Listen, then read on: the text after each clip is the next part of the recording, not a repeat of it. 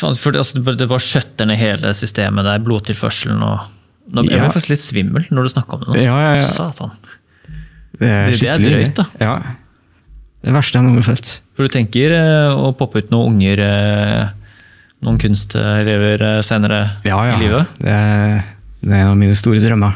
Er det det? ja? Ja, ja. Det er ikke så veldig vanlig for så for tenåringer å tenke det? Uh, nei, Nei? ikke. Nei, altså, jeg tror de aller fleste tenker på barn ganske mye seinere. At de tror veldig mange har lyst til å gjøre ting.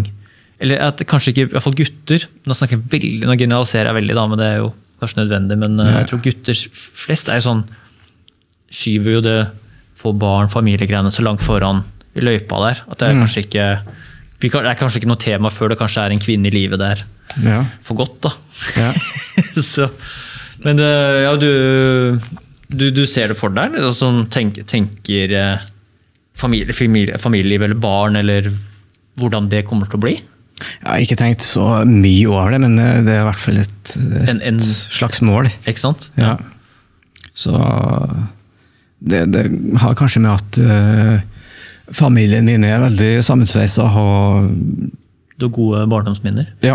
Mm. Så kanskje det er derfor. Mm.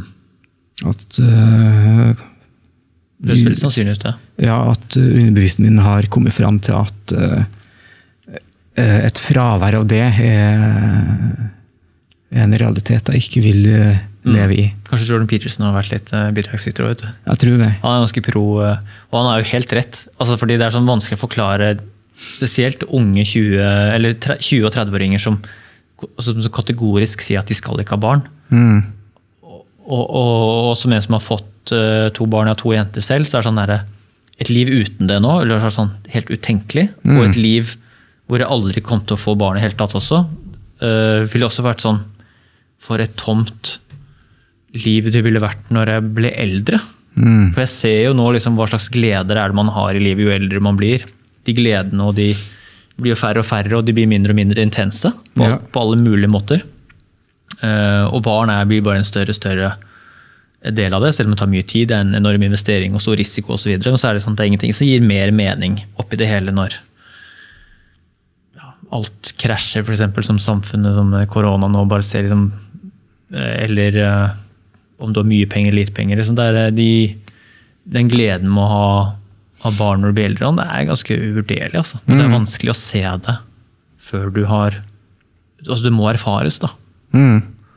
Og det er sånn der, det er, får så vondt av unge mennesker sier kategorisk at de ikke skal ha barn fordi jeg tror mye av det bunner ned i frykt, at man er redd for at man skal få det til, det er skummelt og alt det greiene der.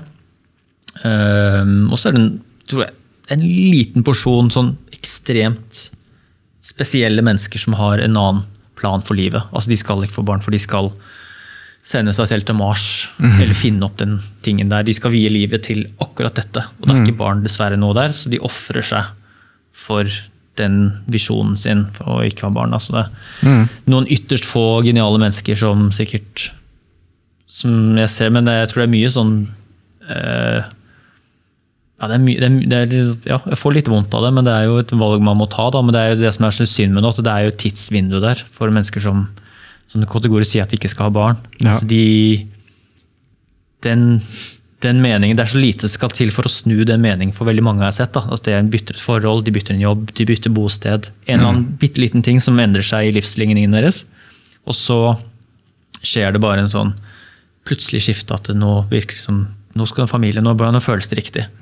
Og det å misse det toget der, eh, jeg, tror det er en sånn vond ting å forfølge resten av livet. da.